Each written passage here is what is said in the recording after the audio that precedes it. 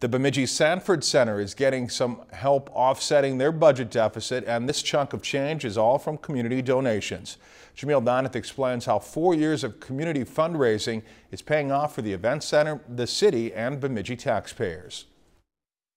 Thank you very much. Bemidji community members are giving back to their city with a $45,000 check. This is a great, uh, a great thing for us. To help thwart the Sanford Center's first five years of operating costs, a group of eight community members formed the Bemidji Regional Events Center Operating Fund. We set up a program where people could pledge for five years, $100 a year. The group has been collecting donations mainly from residents outside city limits for four years. But when Sanford Center officials announced a budget deficit of more than $300,000, they made payday come early. If you're not in the city limits and you can't vote for it, and you want to help the city taxpayer, this is a way to do it. Anytime you, you start a new business, uh, it's going to take some time, you know, to, to you know, to be as successful as you wish it to be. Bemidji city officials say because this isn't taxpayers' dollars, they can use it for promotions, which they say will come in handy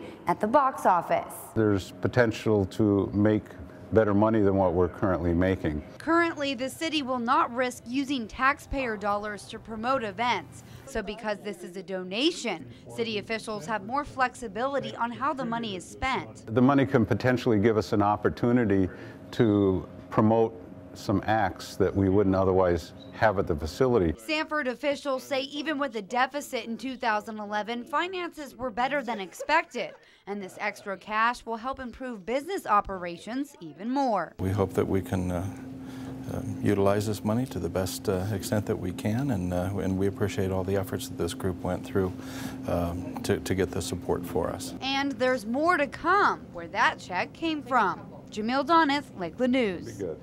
The group has one more year to continue collecting community donations to fulfill their five-year pledge, at which time they will turn over the remaining balance to the city.